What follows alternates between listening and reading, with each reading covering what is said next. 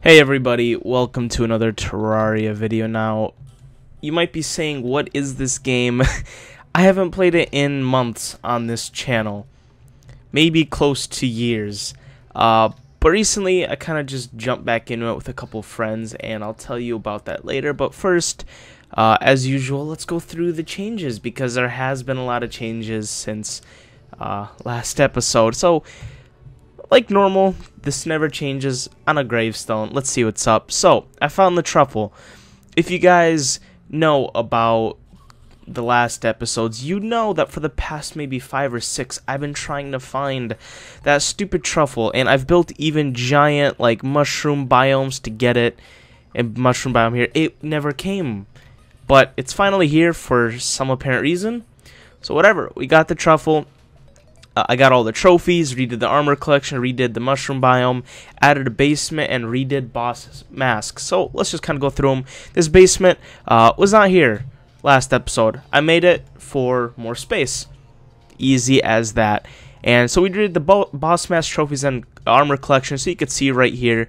Uh, you might not notice a difference, but there is. The boss masks, they're all here. We had up until here last episode. What I did is I put them every single one in order and now this is the complete collection. I actually did complete the boss trophy collection so it's kind of cool to look at. I moved my armor collection from up there to down here and I made it more organized because I realized that there's like a lot of armor sets and that little little space wouldn't do enough so I made like I dedicated this entire thing for armor and you could see that there are gaps in the armor because I went like on the Terraria wiki and I looked at all the armors. So they're all completely in order from like the best to the worst throughout the game. And yeah, so you could see all of them that are filled in, those are done. All of them that are missing are armors that I still need to collect. And we have about a half. So that's kind of what I've been working on throughout these like months and days is just getting all this armor together. And we have a good amount. And then the banners are still here like usual, and I redid the costumes here. Or uh, the boss mask too. So we have also every single boss mask. I'm pretty sure. It does look like we have every single one here, so that's kind of cool. And then uh, I still might need to expand the costume. But yeah, so most of the stuff that I did was pretty much kind of decorative. Now, what do I have in here? I don't have anything. Okay, so we didn't get any new items. But yeah, so it's kind of the update on the world, which is kind of cool. Uh, a lot of collecting and stuff. I don't think there's anything new on the world map, except it's cool to look at, because wow, I explored all this. That's nuts. But now, time for kind of the thing that I was planning this episode. Now, this episode might be a little bit short because there's not much to do, but uh, this is kind of an update, more of an update video, partly. But here's what I'm going to be talking about. So, like I said, I haven't played for so long, but about a week ago, or when this episode comes out, maybe about a month ago, uh, me and my friends, like five or six of us, we were playing Counter Strike or League of Legends, either one, I forgot which one. And all of a sudden we got bored, we got salty, so we were like, hey, what's a game that we could all play together? And then one of us shouted, hey, Terraria, which I don't want to be that guy, but I think it was me, I think. But it doesn't matter.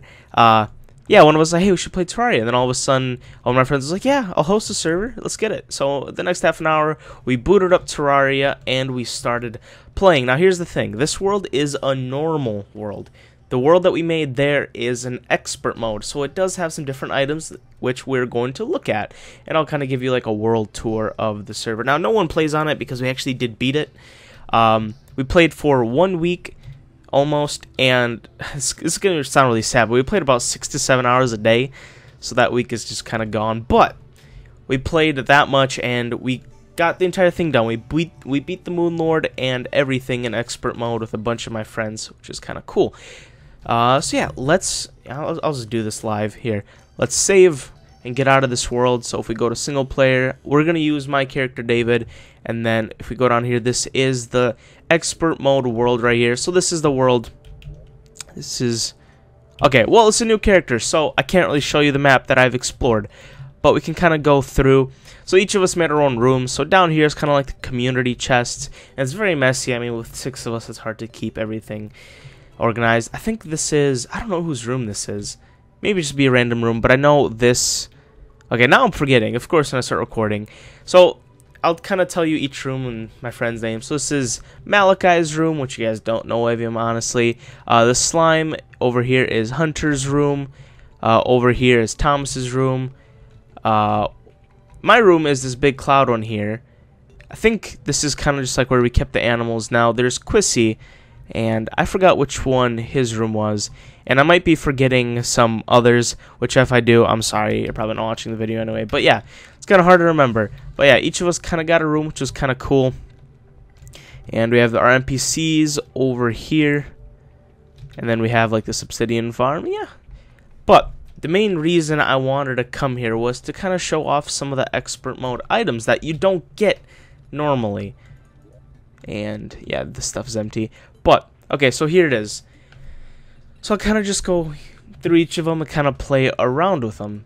So the mechanical cart, mechanical battery piece, mechanical wagon piece, if you combine those three together, you get the mechanical, or, whoops, uh, you get the mechanical cart. This cart is just super, super fast, but you can only get these three from the three mechanical bosses in expert mode. And I guess we'll grab that so we can kind of see how fast it really is. Actually, I don't even know if we have a like a railway, so we might not. But just just know it goes really fast, and it's used as a strategy to beat a lot of bosses to kind of cheese them out with that. And here is one of the developer sets that I forgot which one I got, what boss I got it from, but essentially it's just a vanity item, but from the it's like a developer, and there's like 10 of these from different developers. I got Leinfors, hopefully I said that right. And uh, we can put it on real quick just to kind of show it off maybe. Let's do this. Take the creeper outfit off. Just like that. So you can kind of see it looks pretty cool. And actually I forgot one thing. Let's put it on, of course, the most important. Yeah, and this is the wings, which is look it's a pretty cool set. I'm not gonna lie, it is a pretty cool set. Once again, you can only obtain this in expert mode. Okay, I want to make sure I don't delete them by accident. Uh oh, okay. I was like, please tell me I didn't delete that. So yeah, let's put this stuff back because I've had this creeper stuff on for so long. At this point, I don't want to change it. It is too precious. Okay, and now here's some of the items that we can get from uh, the boss is in expert mode, and if you guys don't know in expert mode, each boss drops a special bag that doesn't happen in normal mode. They contain just normal items, but they can contain some expert mode items. Now, there's about, I think, 12 or something. I have like 8 or 10 of them here. So this isn't all of them, but this is almost, I'm only missing 3. The Demon Heart, the Bone Glove, and the Worm something. The one from the Eater of Worlds, but it's okay. I'm not to bother farming them now. So let's kind of go through each of these items and see what is up with them. Uh, so the Shield of Cthulhu, um, let's put that there. You can just kind of dash with it. Uh, I'm pretty sure if you dash at the right time, you can cancel some of the enemy's like damage on you, which is kind of cool, and also just kind of looks cool on you. That's pretty much the gist of it. Give, gets you some defense. And yeah, uh, early game and expert mode helps you with movement speed, which is really nice. The Hive Pack increases strength of friendly bees, so this is also an accessory. So what that pretty much does is there's like the bee guns in this game. Let's see if I can find one real quick. But yeah, you guys know that in this game there are guns. Uh, wasp gun. Let's try this one out. Yeah, so you can kind of shoot. I don't know if actually this is right. It might be right, but uh, yeah, you just shoot bees, and that will increase the strength of the bees. Uh, the gravity globe allows a holder to reverse gravity. I actually have not played with this one, so let's try this one out. So you hold up. Oh, so it literally just lets you reverse gravity, which is, I'm not gonna lie, that is kind of cool.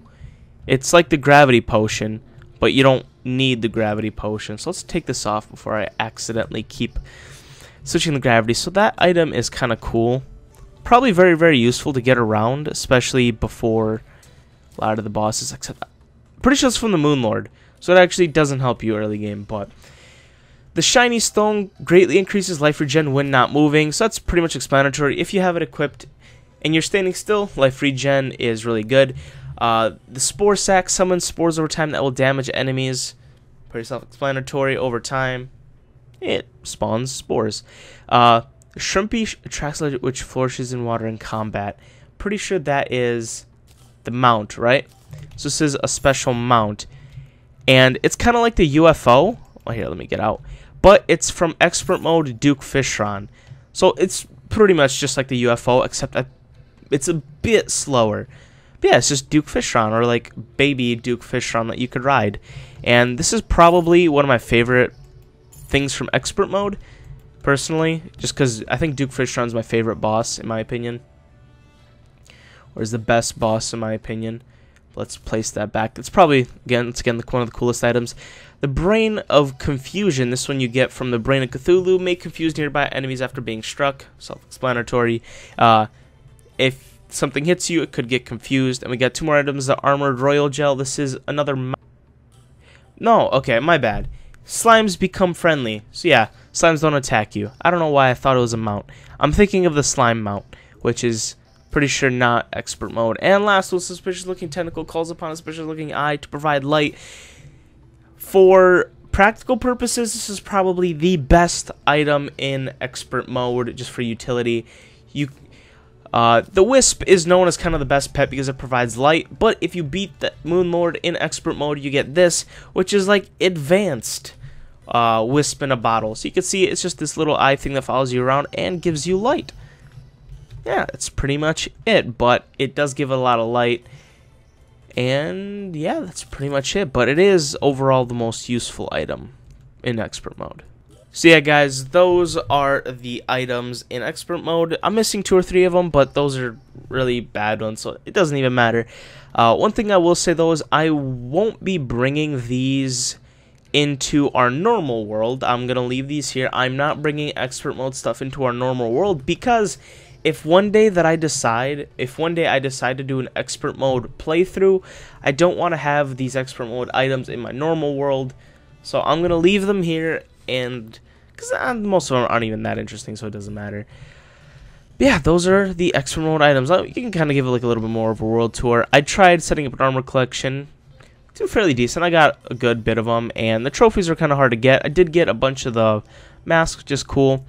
Now, sadly, there aren't any expert mode bosses. It's kind of sad. I wish they would have some of that, but they don't. But yeah, guys, um, I think this is going to be pretty much it for this episode. Once again, this is more of kind of an update video. If I do any more videos, we'll actually get some stuff done, build some stuff, fight some stuff. But for now, guys, that's going to be pretty much it. Hopefully you guys enjoyed. If you did, make sure to like and a comment, as supports my channel, and I will see you guys later. God bless, and goodbye.